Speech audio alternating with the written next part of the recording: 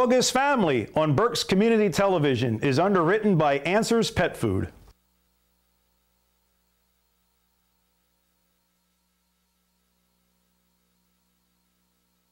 family. My name's Barb Bennett, and I am the host for this next hour. And boy, do we have some fantastic guests today. Dog is Family is all about what we can do to enhance our mind, body, and spirit. And it's always a work in progress. And all of you sitting out there, I'm sure you've been through the the issues this summer with foods and, and issues. How do I figure this all out? And I continue to try to present all kinds of concepts to you so that you can be thinking about what might be going on in nutrition.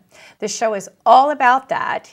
And we've got a busy hour ahead of us. I feel very fortunate to be part of the BCTV family to bring this show to you out there, viewers, because we are community TV, but the reach in the world goes everywhere. And what I've been able to do in many cases in bring well-known guests in the pet industry, the big pet industry to you, to us in this county. And I've been able to do that again today, and I'm very, very excited to get started. We are going to be zooming in with meeting conference technology, and thankfully so much for the program director here and the station willing to support this to get us moving to bring experts in in their particular areas. And what we have first up is Maria Ringo. And, and when there's Maria, yay Maria, she's with us. Hi.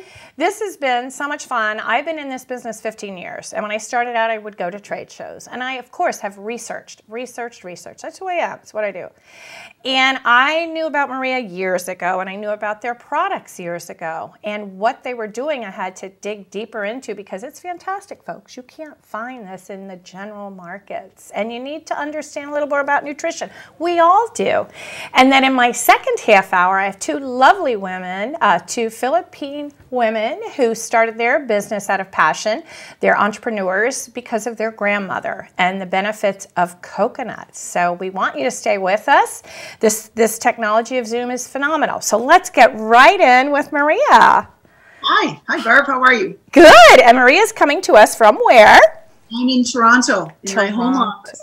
Yeah. Canada. So, Maria, give us a start in who you are, your background, how you got to this point, why we're here today. Uh, I was very excited to bring Maria on. Go ahead. Barb, I'm excited to be here. Um, it's funny hearing you say um, I've been in the pet industry 15 years. When I think about it, I've been in the pet industry over 30 years. Whoa. Which I never thought I, I never thought that would happen, but I, I loved my dogs. I love this industry. It's it's a beautiful place to be, and I'm so happy to still be here. I started way back in the 1980s as a youth. Um, I had I had bull mastiffs. Um, ah. My friend and I did not have uh, a food that we liked feeding. We wanted to feed raw. There was nothing like it on the market, so we started Sojourner Farms. We had no clue what we were doing. We had to do so much research. Um, and we did, and we patched together the money and we put together this lovely grain based raw food diet that you added the fresh meat to and you added water. Everybody thought we were crazy. Mm. There was nothing like this in 1986. No. But we persevered and talk about going to trade shows. For many years, we were the only flesh and blood women at those trade shows. It was a man's industry. Yes. Um, it was a man's industry. It really was. But we had a good time and we um, persevered. And I ended up selling Sojourner Farms to Ward Johnston and some friends who turned it into Sojos and, and made very good with it. And then I took a couple years to um, go to um, homeopathic medical school after I sold my business and I moved to Canada. I married a Canadian anyway. And here I am in Canada. My husband and I about eight years ago started another venture called Carna4. And this, we felt um, it, that it took Sojourner Farms to another level because we were hearing people all the time say, I want to feed raw, but I can't. Ah. Or time, or I'm afraid of the pathogens, or I'm always in a rush in the morning. So we created Carna4, which is for that customer. And I'm happy to say eight years later, it's worked out very, very well. We have a full product line now, and we're still educating people. We're still providing that solution for the person who says, I don't feed my kids garbage. Why am I feeding my dog this what we call crappy kibble. No offense intended to anybody. Everybody's doing the best they can all the time. That's another thing. With Carna4, we we're all doing the best we can. And Carna4 though is the the solution for that person who needs convenience but doesn't want to feed synthetics, doesn't want to feed preservatives and wants whole food. So we just we mash up whole foods, mostly meats, and literally mash it out, bake it into a very um, easy to identify form, very uniform with not a lot of moisture. So it's quick baked, air dried, and put into a bag. So it solves the problem for that busy mom in the morning who wants to pour it into a bowl and go off to school. And then in the evening, when she has time, when the meat has thawed, she can do her home cooking or her raw. And that's what that's what we're about. It's it's like you said, it's education. It's about it's about letting people know that there is something else out there. You really do have a choice. Yes, you, you really can, do have a choice in that segment. Yes. Yeah. Yes, and the, the impressive part, many impressive parts of what you've been able to do, and it's such a niche and, and a type of food that uh, uh, people like me who are passionate about feeding the best people can feed and, and knowing where the ingredients are coming from and knowing quality control of a food, I want to see a clean panel on all of that. And in dry foods, people have to be afraid of synthetic. What's what are the synthetic vitamin and mineral mixes, and what are right. the um, preservatives used, and where do these eggs come from, and where does this meat come from? Let's talk about how Carna4 has been. Yeah. You've created something very different in this yeah. type of product. Please talk well, about that. The first thing, the first thing to remember is that what we what we what all creatures need is whole food and this is the this is the gist of Carna4 is that when you split meat into meals or when you use pea proteins or soy protein isolate or or vitamins that are are grown in a factory and these are synthetic vitamins and minerals or probiotics that are cultured in a lab all of this is adulterated food. And that's not a healthy thing to eat every day. We all go out for fast right. food when we're on the road. Every once in a while, we'll eat the potato chips or the, the junk, sure. And that, that's, like I said, we're all doing the best we can. but for a mainstay diet, you wouldn't feed your kids that. So for Carna4, what we've done is we very carefully selected suppliers of human grade ingredients it's leftovers from the, the trade that didn't sell everything to the um, grocery store, quite literally.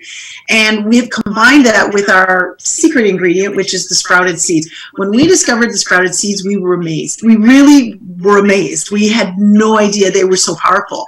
It's nature's superfood.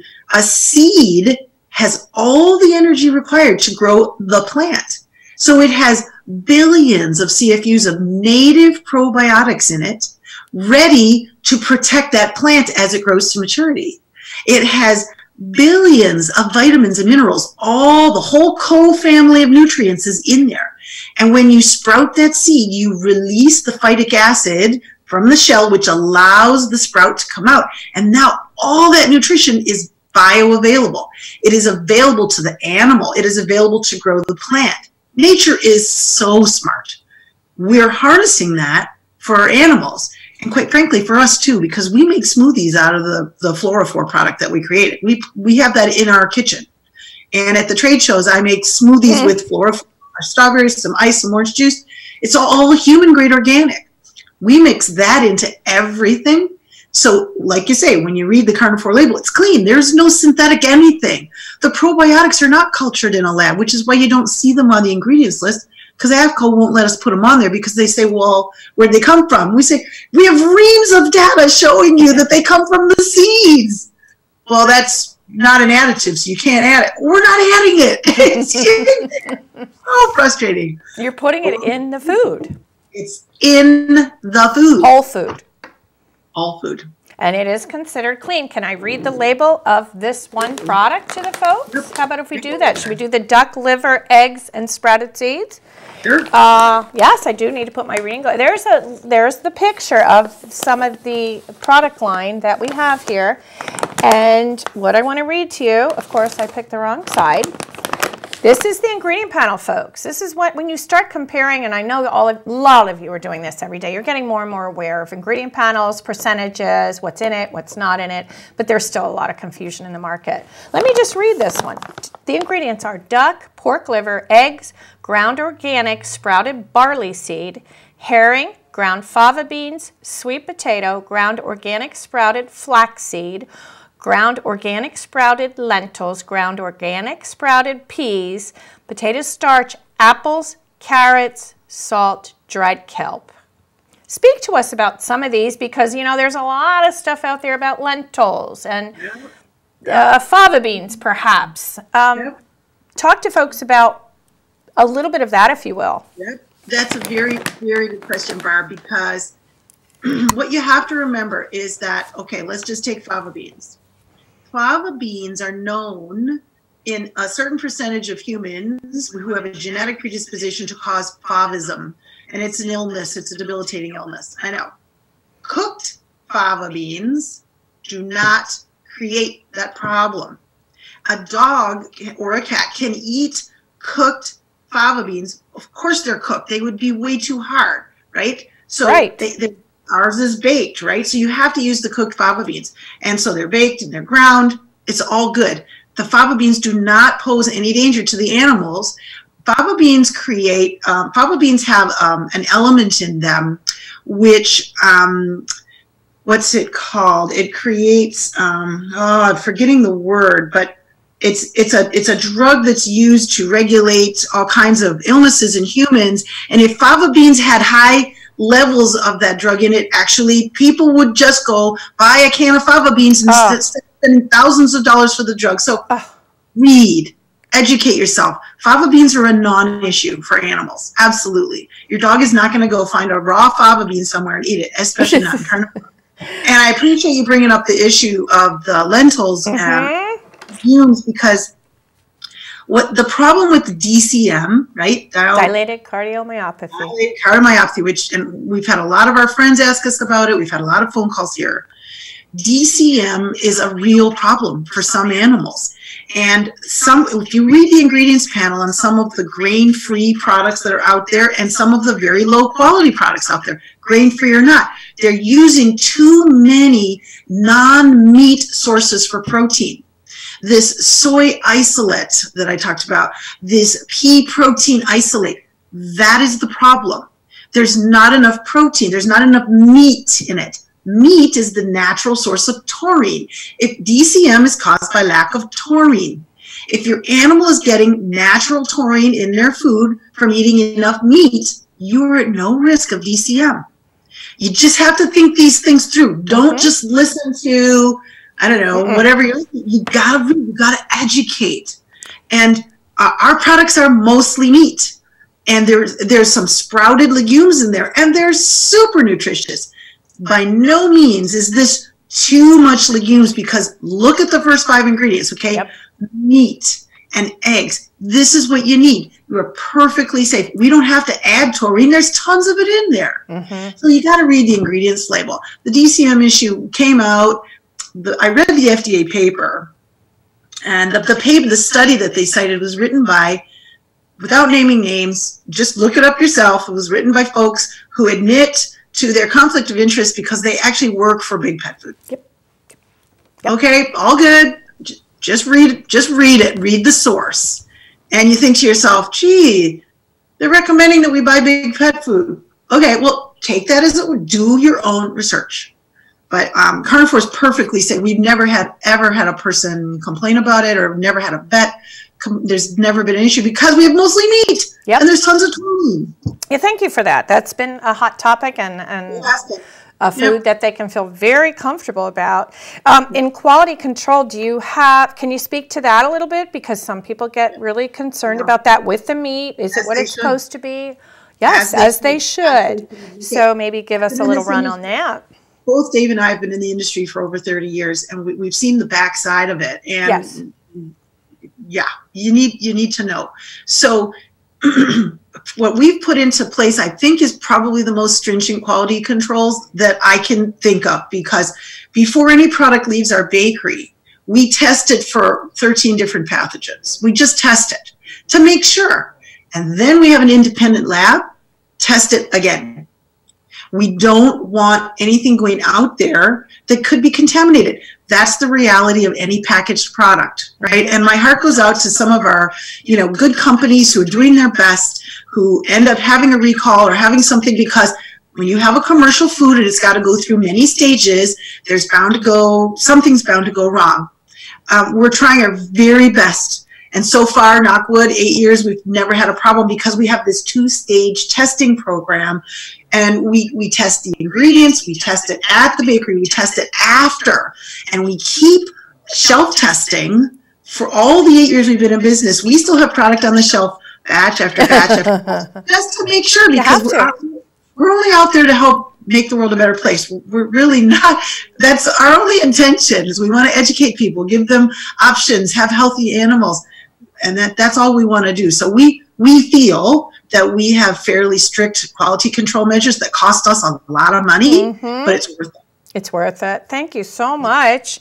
Uh, let's see. What kind of dogs have you found that certain um, conditions in dogs this your food really helps specific yeah. medical or everybody or how would you can you characterize that that's an interesting question too because i think probably the customer that calls us to thank us the most is the person who's got either a dog with serious gastrointestinal issues okay. or serious skin and coat issues um, i get so many calls all the time from people who say my dog's licking her paws and we can't figure it out and we've had her tested and the vet says everything's okay and, and just trying Flora4. Flora4 is our ground sprouted seed product that we put into all of the pet food.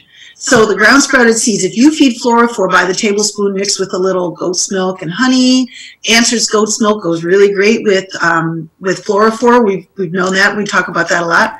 Um, mix that up as a gruel, feed that to the animal as a therapeutic dose, and you'll see that in so many cases that licking abates, the skin and coat clears up, the gooey ears clear up.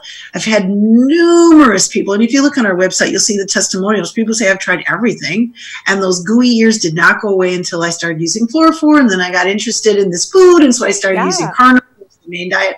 It's just, it's just real food you know, it's not rocket science. I say that all the time. It's, it's real food. food. And that's real food. Yeah, that's where people are like, no, it's supposed to come from a you know a bag at the grocery store and look at the ingredients. It's not real food in a lot of that. So I you know I hear you. You know I hear you. Um, the the supplement that we're talking about, the sprouted seeds, I think are just so interesting. I was introduced to it from a from a, a smoothie at a trade show too. Um, this is the product again. If folks want to look at, if you want to see the bag of Flora4. The other thing that's very interesting about your food is palatability. I know like when mm-hmm. companies get very, very big, they do these palatability studies, which are, oh, we put this out and this out. What did they like? I will tell you that I'm very pleased in the role that I have as the proprietor of a specialty business committed to better food is that um, some of our customers are really finding that their dogs really do like it from a taste perspective. You know. And you don't have to spray anything on this food. Like a lot of the big, big pet food companies have to yeah. do spray surfactants. You want to speak about that? Because I'm okay. finding that quite a few of the customers who might have had fussy dogs are eating good food, which, you know, if you're used to junk food after a while, you don't even want to eat a salad. But they're yep. making the transition. Oh. And maybe you want to speak to palatability and what you've found. Oh, I'd love to because it's one of the things that I'm so pleased about. A good food is no good if the cat won't eat it. Yeah. So we worked for many years on our cat food recipe to make it palatable within our very strict parameters. What what some pet food companies do is they literally spray perfume on the nugget, on their kibble to make it attractive. And, and these are complete chemicals. Yep. And of course, carnivore would never do that. So we had to find a recipe for the dog food was easier because they're not quite as picky. Right. The cats drove, oh, drove me crazy because they're so picky and we tested batch after batch and the cats would say, yeah, yeah, yeah, but I don't like the, ta- the taste or the smell. we finally found, and you know what? They love two things. It's mostly meat and it's baked. Yeah. And that seems to be the key. It's mostly meat and it's baked. Um, we're um, going to visit a Carna4 customer next week because I, I just want to talk to her. Um, she has an old dog who has hardly any teeth and he wouldn't eat he wouldn't eat wouldn't eat she found Carna4 and this dog does a happy dance in the kitchen every mealtime. that makes me so happy It does. because she's at the end of her rope it smells good to him. It tastes good to him. He will eat it. And she had to just let me know. Like i what did you guys What did you it's do? just food. Yeah. lots of meat baked smells good. Then they taste it. Lots of meat they'll eat it. And this dog is now healthy again. So Oh, I um, love that story, Maria. And the texture, it breaks down easier in their mouth, doesn't it? Because of the air baking. formula. We created our fish formula. We called it easy chew Ah. because we put a little bit of mined baking soda it's so it's actual baking soda from the ground it's mine and it just makes it a little easier for them to get their older or smaller teeth on it Great. Great. Oh, so smart. You you you're just so smart with what you've been doing. We're we're running out of time already, which I cannot believe.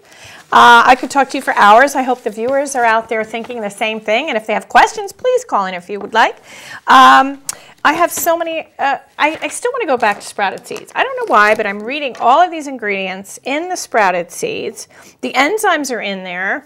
The vitamin B12, which can be an issue. Vitamin D, which has an incredible amount, which now we're learning uh, low levels of vitamin D can cause cancer, uh, can indicate cancer. Right Right. So you're covering so much, and just by adding some daily doses in their food, you have a powerful product here that can really benefit dogs. Yep. And it's just nature. Honestly, Barb, it's just the way nature created this seed with all the protections and we get the benefit of it. That's all it is. And and it's, you know, the Flora4 product is completely raw, completely organic, so it satisfies everybody. If you have any issues with anything, Flora4 is good. Use it the next time you have a, a stomach upset or ne- next time you feel like you're getting sick. Yes. Seriously, you personally put a tablespoon into a smoothie or into your yogurt or something and eat it. You will feel better after a few days with that because it reseeds your gut Excellent. with positive bacteria. 125 different families of probiotic bacteria, not just one or five, and not for $60 for a little bottle of yeah, that's true. That is very, very true. Yep. Oh, this is excellent. What else haven't we covered that you'd like to talk about? The flavors, the sourcing, the food, life, where we're headed, what, anything. You know, if I could give people a message, I would say, you are doing the best you can. And as you learn better, you do better. Do better. Who Ah. said that? Dr. Maya Angelou. And I, Ah. she's one of my heroes. And I'm, I'm paraphrasing her, but as we learn better, we do better. So do your research, find out about Carna4, give it a try. I love it. Uh, I'm proud of it. I stand behind it. Call me or email me anytime with questions. I'm always open to it. I love talking to my customers. Oh, that's an excellent final thought, Maria. I've always said that I'll get customers into the store, and once they start to learn, they feel very guilty that they didn't do better before, and I do the same thing. Once you learn, you have an obligation to do better. If you choose not, then you know that that's what happens in life. We but we have to be open all the time, right? Yes, we do. We have to listen. We have to read. Excellent. Thank you so much. This has You're just been welcome. a delight. I would love to continue to talk about foods and Anytime. your science and your husband Dave, who's your co-owner in the company. I got to at least meet Dave as well, and I wish you the best in pursuing the best in dogdom for nutrition. Thank you. Thanks, Barb. Have a good day. Bye. Bye bye. We'll take a break and we'll be back with two lady entrepreneurs with coconuts. We're going to go coconuts. Thanks.